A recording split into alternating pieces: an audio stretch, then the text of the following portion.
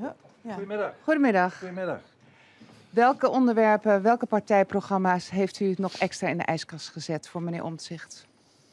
Ja, dat is allemaal niet aan de orde geweest. We hebben een eh, ehm, goed gesprek gehad. Eh, we hebben ehm, nou, wat pijnpunten van elkaar aangehoord. En ehm, ja, ik kan wel zeggen, gelukkig is de lucht wel eh, geklaard. En, maar we zijn er nog niet. We hebben morgen nog een volgend gesprek.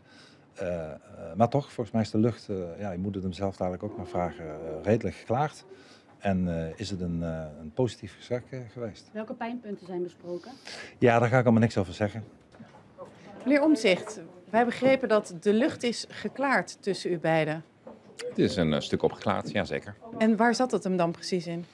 Nou, weet u, dat gaan we niet allemaal een woord op slag van doen, maar eh, een aantal dingen gewoon uitgesproken van beide kanten. En de lucht is een stuk opgeklaard. En er is alle reden om morgen, eh, ik denk om één uur, hangt een beetje van de stemming af, een volgesprek te hebben. En waarom kwam u er vandaag niet uit? Het is gewoon goed om dat morgen eh, verder te gaan. Heeft de, Dank heer u wel. Wilders, Maar- sorry, heeft de, Wil- heeft de heer Wilders genoeg toezeggingen gedaan zodat u ook echt verder wil praten?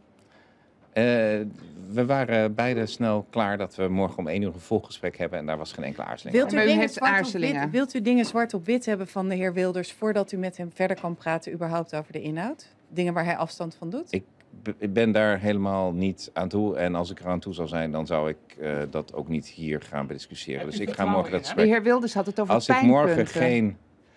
Als ik er geen vertrouwen in het proces zou hebben, dan zou ik morgen geen gesprek aan. Heeft u vertrouwen in de heer Wilders?